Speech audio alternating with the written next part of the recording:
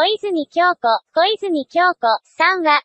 1982年3月21日にシングル、私の16歳でデビューしました。花の82年組と呼ばれるアイドル豊作の年にデビューし、同期の中でも絶大な人気を誇っていました。1990年代にリリースしたあなたに会えてよかったと優しい雨はミリオンセラーを記録し、アイドルを卒業した後も歌手、女優として常に第一線で活躍しています。そんな小泉京子さんの生卵事件以来深まった中森明菜さんとの仲や、憧れの先輩、松田聖子さんについて、小説化された小泉さんの親衛隊の話について、アイドルの同期の方々についてなど、お伝えします。小泉京子のプロフィール、愛称、ヒョンキョン、本名、小泉京子、生年月日、1966年、昭和41年2月4日。身長、153センチメートル。出身地、神奈川県厚木市。最終学歴、神奈川県立津久井高等学校中退。所属事務所、株式会社あさって、牧事、小泉京子、生卵事件で深まった中森明菜との関係松田聖子を尊敬。アイドル時代の親衛隊を書いた小説、花の82年組の同期は誰？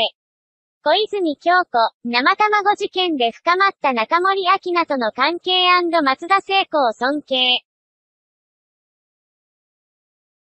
小泉京子さんがアイドルとして活躍した1980年代は、日本の芸能界でも屈指のソロアイドル全盛期でした。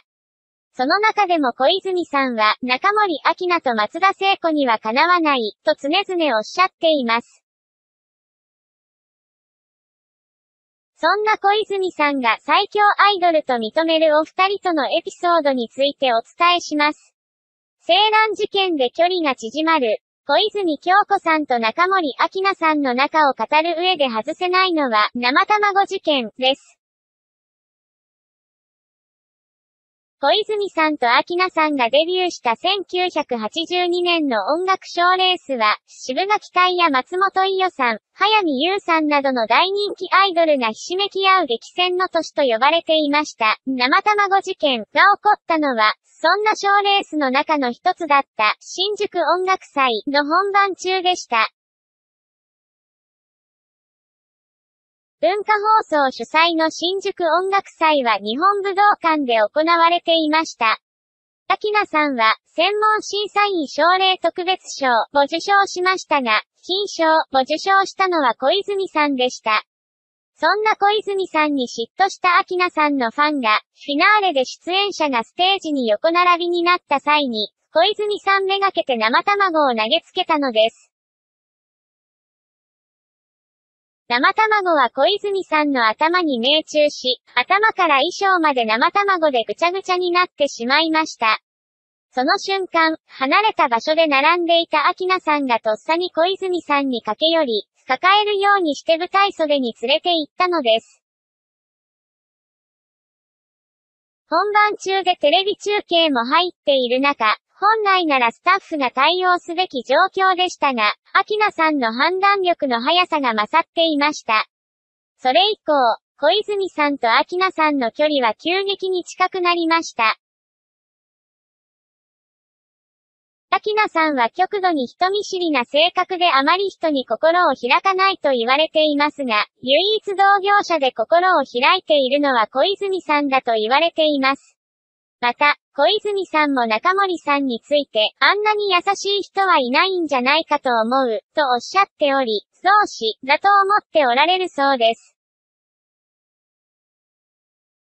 松田聖子との関係。小泉京子さんにとって松田聖子さんはアイドルとしては2年先輩ですが、松田聖子には絶対にかなわない、とよくおっしゃっています。当時はアイドル戦国時代でライバル意識もあったのではないかと思いますが、聖子さんに対しては尊敬、の念を抱いていたと言います。聖子さんは声も透き通っていて歌もお上手だし、私はそこに並べないと思っていた、と当時を振り返っていました。そんな完璧アイドルな聖子さんがいたからこそ、小泉さんは、普通に街にいそうな、元気でポップな女の子を目指すことができた、ともおっしゃっていました。そんな小泉さんと聖子さんは2011年に放送された富士フィルムのスキンケア化粧品、アスタリフトの CM で共演しました。お二人が共演するのは20年以上前の歌番組以来で、CM での共演は初のことでした。伝説のアイドル二人が共演する CM は話題を呼びました。小泉さんは聖子さんとの撮影現場について、あの頃と変わらず優しい先輩で、楽しい撮影でした、と語っていました。アイドル時代の親衛隊を書いた小説。小泉京子さんがアイドルとして活躍していた1980年代には、アイドルを熱狂的に応援する親衛隊というファンが存在していました。単に好きなアイドルを応援するだけではなく、自主的に身辺警護などもしており、様々なアイドルの親衛隊による関東親衛隊連合なるものまで結成され、全国11都道府県に連合支部を持つような何千人規模の組織でした。そんな小泉京子さんの親衛隊について書かれた小説、フォートリバースが、2019年9月9日に発売されました。著者は高崎拓馬さんで、広告代理店で働いていた時に小泉さんから当時の親衛隊の話を聞いた際に、あの頃の親衛隊の方たちの熱を、どこにも形として残せていないのが寂しい、と聞いたことから、フォートリバースを書こうと思ったそうです。小説には小泉さんが実名で登場し、坂崎さんが小泉さんの親衛隊をしていた方々から直接話を聞いた内容を小説に落とし込んだそうです。小説にはフィクションの部分もありますが、実話の部分も多分に含まれているそうです。